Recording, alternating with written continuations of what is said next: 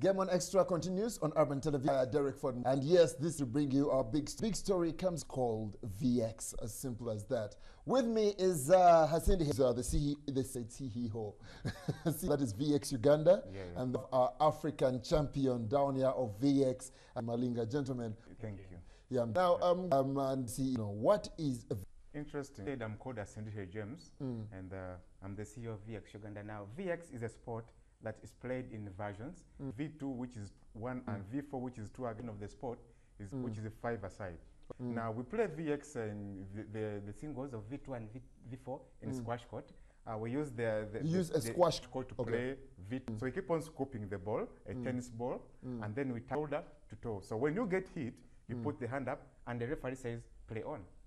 All right? A tennis ball A being tennis shot at you. That is a very hard ball, you know. Had the ball out here Okay. with the impact, impact of the body. This is a ball that looks like a tennis ball, but is much softer. It's much more softer with the low steel. Okay. Uh, produced to uh, to uh, much impact on the ball. So you don't expect to be hurt. you don't expect to be hurt. That is Just like as you see, they scoop the ball with that VX stick and then target the opponent. You put the hand up. Is it called a the referee says stick? Play on.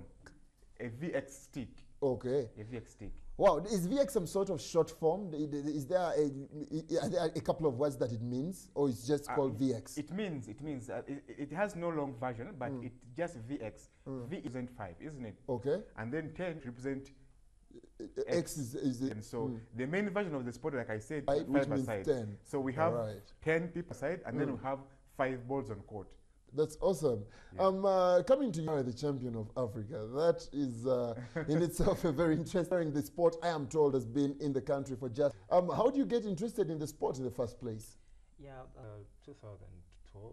Mm. I was um, my friend introduced me to the sport. Mm. Me, there's a new sport. Come and we try it out. All right. So when I went there, I never looked back because I found it interesting. You found it interesting. Um, I, well, like someone who would won before that. True, yeah. My, my, my sports. I've Mm. played cricket. I've played football. Interesting. So this this sport comes through. It takes you on, and uh, the rest is history. Now three are um, a champion. How do you get to attain this? How did you win it? It First was in 2012. It was in 2012 when championships. Okay. Won it. Um, I beat a South African. Mm. Then uh, 2013, recently, I played. Uh, I faced uh, like one of my the colleague I faced in the finals was, Mm. was a Ugandan. Oh, okay. Yeah, because in, in this way we play like we, we all play, we all come together and play. Then Mm. we get the best too. Alright. So he emerged the best, Mm. the second best to Mm, me. mm. Then we had to face each other. And then you still won it. I still won. So you are a defending champion, actually. I am the champion. Um, yeah. uh, coming back to you, James, Yeah, how yeah. many countries in Africa take part in this sport? Well, Uganda is the leading country that is, uh, so much more proud of we. It makes us mm. proud of you, our Uganda. Mm. Uganda is taking the lead on Africa. Okay. And then we have Zimbabwe is mm. playing. We have South Africa. We have Nigeria. We, we have Egypt, Tunisia. Uh, those are the countries. And then Kenya and Tanzania. I also played, even Rwanda plays. But Alright. like, we see, like, like he said, uh, those were all beaten by him in the African National Championships. All right, uh, that is uh, pretty much interesting. So now you're going on to the world stage. I'm thinking you're going to be playing against people that brought the sport to you Yeah. um, at this championship. How much uh, do we expect of you? Um, I know uh, people are expecting much, Mm, and I believe, and I know that I'm going to deliver. mm, That's Yeah. interesting. Because um, recently, the only threat I had was the world champion, Mm. but recently he came to Uganda and I had to face him. mm, So I faced him. Um, I knew his tactics. Now I know how he plays. mm. So I'm ready to go on and take it away from him. All right, and uh, who is this gentleman? Do we have a name? Do we? Do Yeah, we he's called uh, Tom Hildreth. Tim Hildreth. Tom. Tom Hildreth. Tom Hildreth. And that, that is the world That's champion. the world champion. Okay, this this world championships. How often do they happen, James? Yeah, yeah, that's interesting. Uh, the V2 Mm. uh, version, uh, the World Championship take place each year. The Okay, V2, yes. uh, which is one against one, Mm, right? mm. And then the V, the, the, the, the V10 Mm. takes after every four years. Mm. Yeah, so meaning that next year, 2015, Mm. will be V10. Will be a V10 So, World yeah, so Championship. that means that when we're playing V10, Mm. even V2 is inclusive. Okay. So next year is VX games, Mm. inclusive V10 and V2. All right, another new sport gets to come to you, and of course, uh, Urban Television gets to bring it to you, and uh, we always get to do it. Now, um, uh, we brought you Cheza a couple of days ago. Uh, that is a totally new sport. It hasn't got into the level that these gentlemen are having theirs. Yeah. Now we do have uh, VX, uh, which is uh, pretty much interesting. You have something to put across? Yeah, yeah, I have much to say. Uh, first, I would say uh, what began as a simple thing. Mm. I remember beginning VX in 2011. Yeah, and now it's coming to international level. Mm. And do you know? Guess what? Who has brought this in happen? It's our sponsor, Yeah. uh, called Liberty Assurance Uganda. Yeah, found on Golf Coast Roads, Plot 17. All right, um, uh, wh- what exactly have they done for you guys? Uh, they've given us a ticket, a free air ticket. Mm. Okay. They've sponsored us with a ticket and the jerseys too. So they've To go ahead and participate. Yeah, to go to Manchester Okay. and participate representing Uganda. Okay, that is uh, beautiful. Now, um, uh, as a player, Timothy, uh, you get to be, well, one of the top players in Uganda. You're a champion of Africa. But uh, at the end of the day, this is a new sport. And getting to the reality, getting to know what exactly gets to happen in the sports circles, it's always tough. You know, um, uh, basing your livelihood on sport down here in Uganda. How have you managed to stay in there, stay motivated to keep going out there to play?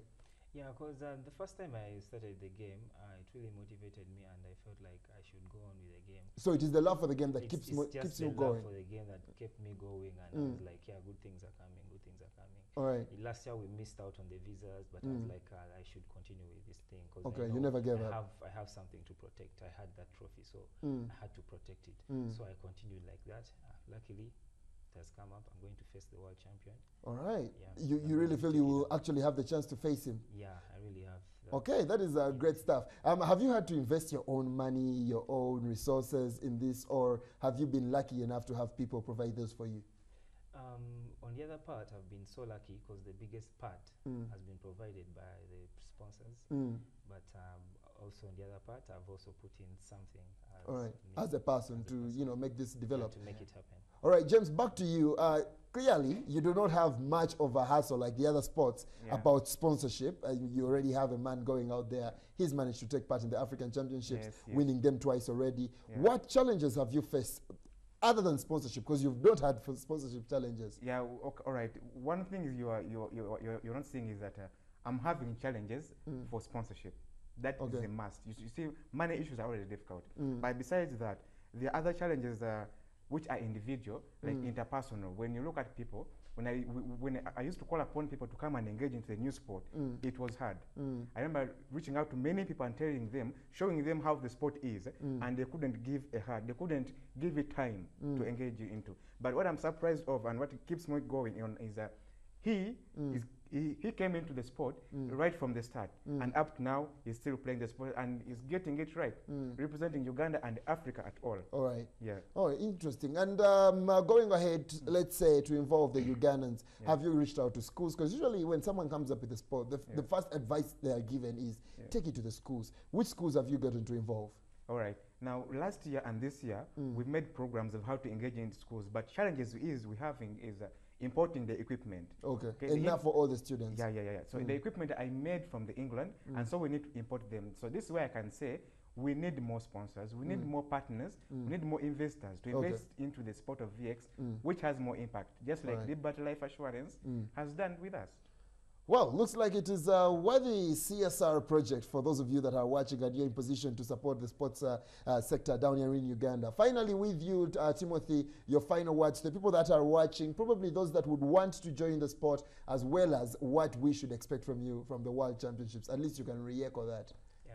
Um, of our words to the fellow Ugandans is um, to keep supporting Mm, and uh, to really come up and engage in the sport mm, because it's a young sport, it's growing in the country, mm, and I believe I'm going to make it when I go to Manchester. mm. I'm going to do it and. I will deliver because I really have a name to protect and I want to make history being the first African to win the World Championships. All right, first African and only African And actually at only this at this Africans edition. this edition. right, and uh, when do you get to leave? I'm leaving on Saturday. You're leaving on Saturday, and when is when is the championship?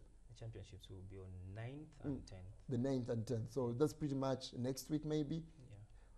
Yeah. All right, we wish you all the best down here at Urban, and uh, we are glad that uh, we did get to host an African champion. And uh, James, thanks for the good work. All Keep right. going, and uh, we shall be helping wherever we can. And thanks for Urban too for giving us this opportunity. All right, it's, it's always good. Uh, everything starts here.